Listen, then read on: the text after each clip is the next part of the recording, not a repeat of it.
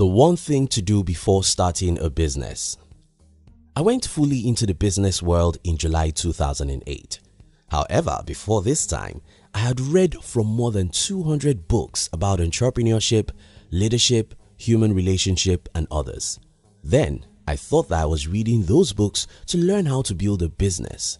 But now looking back, I discovered that the most important thing those books did for me was to help me to do the single most important thing you need to do before starting a business. And that's what I want to show you in this video. Now, if you're new here, consider subscribing so you won't miss other interesting videos like this. Let's get into it.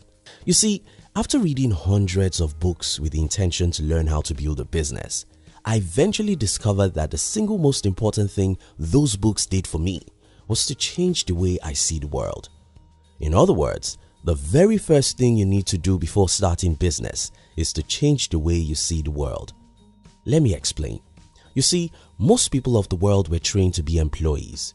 Because of this, the way they are programmed to see the world isn't like problem solvers. In fact, the world we are trained to see most of the times is a world of security.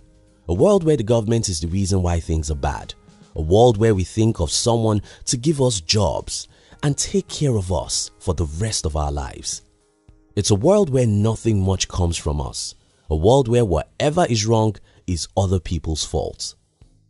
Now that you want to be an entrepreneur, now that you are starting a business, even before you think about the business to start and how to raise money or build a team for such business, the very first thing you need to do is to change the way you see the world because until you change the way you see the world, you cannot change the world and entrepreneurship is about changing the world.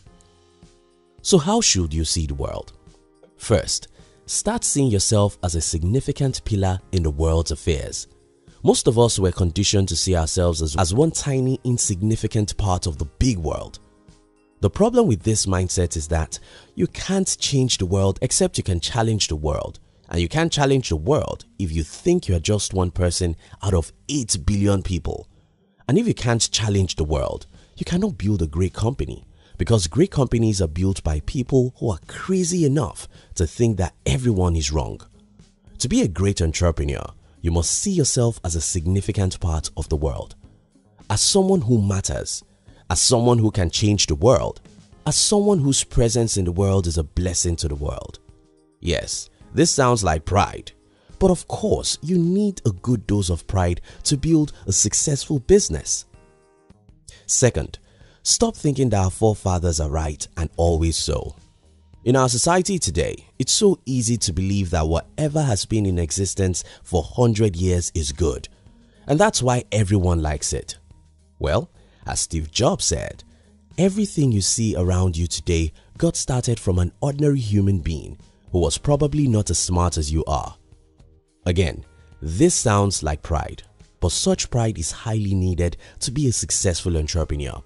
You must be courageous enough to question the way things are done, even things that have been the way they are before you were born. Stop thinking that our forefathers were always right. We can challenge and change many things they created and that's how great businesses are born. Third, stop expecting a messiah. We were all trained to expect a Messiah, someone to give us a job, someone to fix our roads, economy and life, someone to take care of us when we are old and other things. Well, if you really want to be a successful entrepreneur, you have to stop expecting someone else to fix your life. You don't only have to be independent, you have to become a messiah. Watch and pay attention to how successful entrepreneurs talk about the world.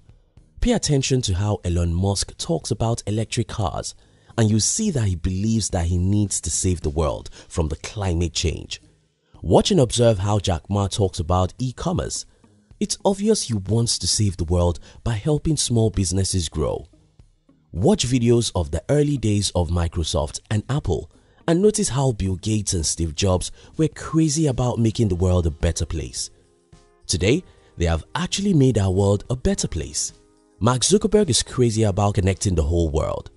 If you think it's money that is driving these people, just remember that they already have too much of it. What keeps these great entrepreneurs and others is that they wake up every morning to see themselves as messiahs. Someone who doesn't need help, Instead, someone who is sent to the world to help the world. To be a great entrepreneur, you must stop expecting someone else to help you.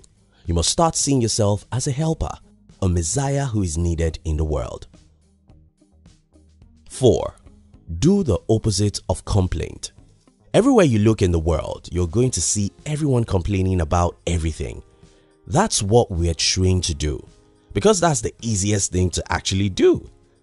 Who on earth cannot open his mouth and complain about anything? What most people cannot do is to work towards solutions because this is a lot of work. Unfortunately, that's what you have to do. If you truly want to build a great business, you have to stop complaining about anything that's wrong. Instead, pay attention to what people complain about and ask yourself, how can we solve this problem?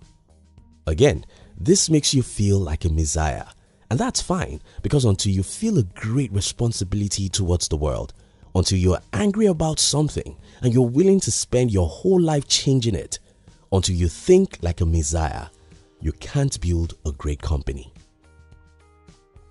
5. Stop being competitive. Life is competitive. That's what we're made to believe.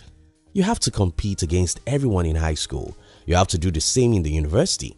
You have to compete against everyone to get a job. It's the survival of the fittest.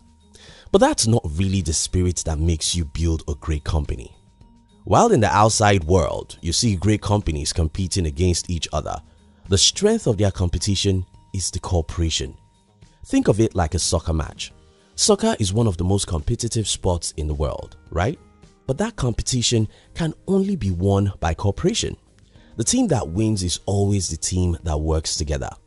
You see the picture here? While you're going to have to compete in the business, your strength of competition will come from your ability to build a great team, from alliance and partnership with others. Just as a soccer team must pay attention to their team than the competition, it's important that anyone who wants to be successful in business know how to build a great team, cooperate with others, and form alliances. In summary, the first thing to do when starting a business isn't to look for the capital or an office building the very first thing you have to do is to change your worldview. You have to change the way you see yourself in relation to the way you see the world. You have to stop seeing yourself as a victim. You have to start seeing yourself as a victor, a messiah, someone who can challenge and change things, someone who the world needs for important progress and advancement. Yes, this comes with some pride, but there is no other way to build a successful business other than to think that you can change the world and there's no way to believe that you can change the world without some level of pride.